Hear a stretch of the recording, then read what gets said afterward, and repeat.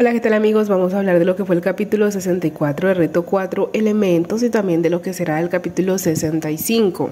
Vemos que Cristian está bastante afectado al llegar al inframundo, ya que este quiere seguir en competencia y se ha sentido muy afectado con lo que está pasando. También vemos que Ari de los Azules por ahora no le tiene nada de confianza a la pista de agua. Vimos que Ricky, eh, los celestes, los verdes y los azules tuvieron que enfrentarse en esta pista de agua. El perdedor de todas estas rondas sería la primera pareja en irse para el inframundo. Vimos que primeramente se enfrentaron Raúl y Ricky pasando todos estos obstáculos. Los ganadores fueron los verdes y de una vez se fueron para la aldea. Luego se enfrentaron los celestes y los azules.